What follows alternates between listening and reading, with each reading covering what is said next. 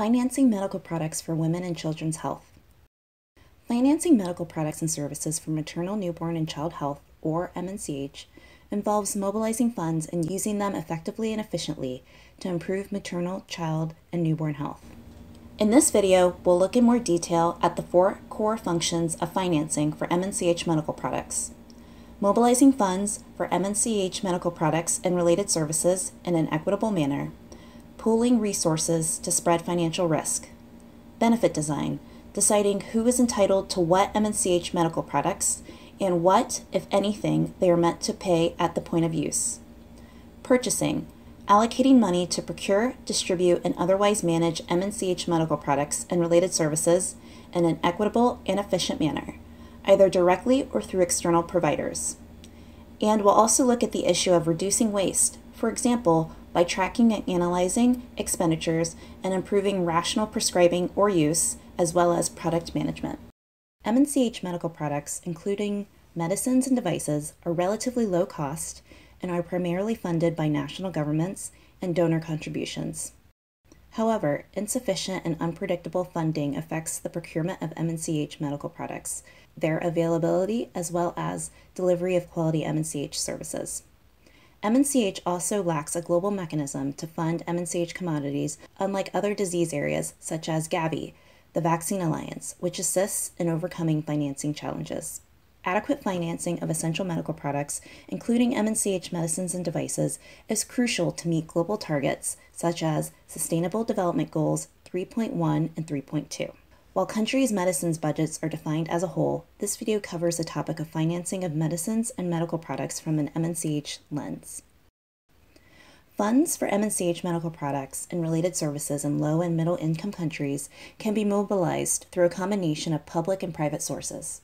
These include domestic public funding, such as taxes, domestic private funding, such as regulatory review fees, out of pocket payments or prepaid financial contributions, from individuals or employers, and external sources such as foreign aid. Each source has different implications regarding the ability to raise funds sustainably, efficiently, and equitably. Public compulsory funding sources, such as income taxes, are preferred, but tax collection is weak in many low and middle income countries.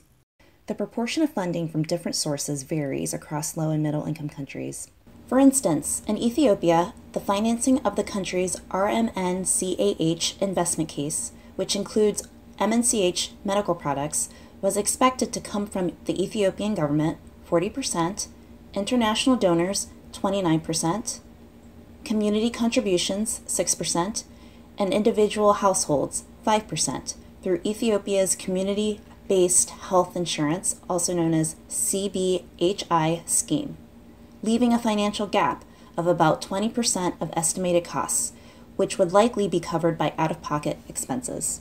When estimating funding needs, it is important to consider the costs associated with the management and distribution of medical products, in addition to the procurement of MNCH medical products themselves. Not including these costs may lead to stockouts, compromised quality, and or inappropriate use if good distribution, quality control, and pharmacy practices cannot be assured. In addition, the pharmaceutical system itself needs to be financed.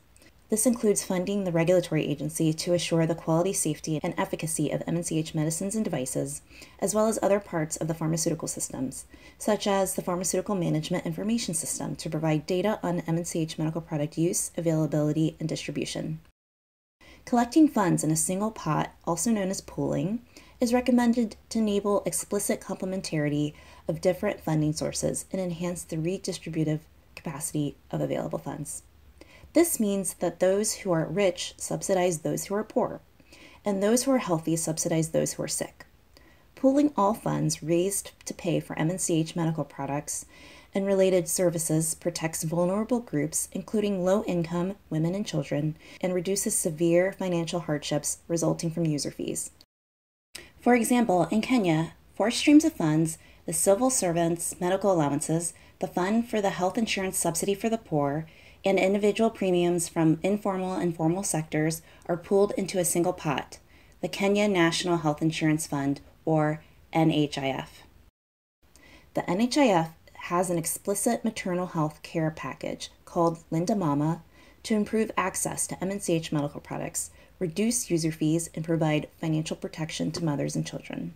In many low and middle income countries, however, pooling for MNCH medical product procurement and reimbursement does not take place, since parallel MNCH vertical programs with multiple disconnected funding streams exist.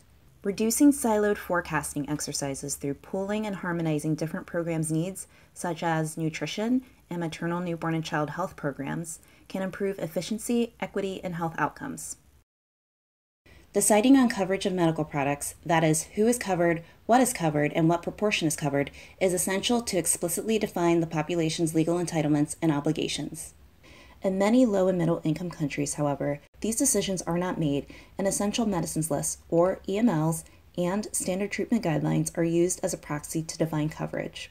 These need to be aligned and define what medical products should be prioritized for procurement and be available to a country's population through service delivery systems. However, EMLs alone do not confer legal entitlements and often lead to implicit rationing for many reasons. Countries may not procure all products on the EML, or they may procure products not on the EML if the EML is outdated, for example. Countries may run out of funding to procure the desired medical products partway through the fiscal year. Supply chain disruptions may lead to stockouts and lack of access. In countries where an explicit MNCH package of medical products and services are defined, these are not often costed or implemented and can lead to implicit rationing. For instance, the Ghana National Insurance Scheme, or NHIS, reformed its benefits to include a free maternal health package for all pregnant women. Though a full package of medicines and medical devices was identified, the financial impact of the policy reform was not costed, and after delayed reimbursements, some health facilities opted not to provide medicines to NHIS patients or demanded out of pocket payments, reducing access to MNCH products and services. Once funds are raised and beneficiaries identified, improving the efficiency, equity, transparency, and accountability of resource allocation or purchasing of MNCH medical products is critical. More lives can be saved and use of funds optimized if quality is prioritized over low prices during procurement and if adequate quantification practices are established. Allocation of funds for community based health platforms and services, for example, Integrated Community Case Management, or ICCM, maternal and reproductive health services, can increase access to life saving medicines for women, newborns, and children by bringing treatment into their communities. However, funds need to be allocated to allow for provision of the full package of medical products. With efficient tracking and rational use of funds, financing goes further. Reducing waste includes paying attention to what funds are being spent on and rational prescribing and use. For example, a three year old is evaluated at a health center. She should only be given an antibiotic if she has signs of fast breathing or chest indrawing, indicative of pneumonia. Dispersible tablets of amoxicillin should be used in preference to oral suspension as a way to save costs in the system, as well as to assure the correct dose is administered. Correct storage, for example, of oxytocin in the cold chain is another way to use resources efficiently, since incorrect storage leads to a product becoming less effective, potentially requiring repeated doses or additional medicines and harm to the patient. Wastage can increase, for example, by procuring oxytocin 5 international units per milliliter ampules instead of 10 international units per milliliter ampules, as double the number of ampules are needed to administer the dose of 10 international units for prevention of postpartum hemorrhage. Strengthening financing of MNCH medical products means increasing money collected from public sources to pay for medical products, raising and allocating funding transparently in an efficient, effective, and equitable manner and reducing out of pocket expenditure to protect individuals against financial risk.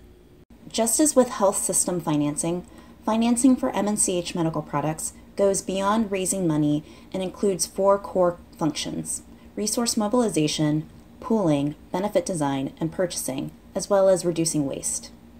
Financing MNCH medical products is not limited to procurement. It also involves raising and allocating sufficient funds for the management of medical products and minimizing waste to extend the use of funds and to enhance availability and appropriate use of quality assured, safe, and effective MNCH medical products. We hope you enjoyed this video. If you are interested to learn more, please sign up for the Pharmaceutical Systems Strengthening PSS 101 e learning course.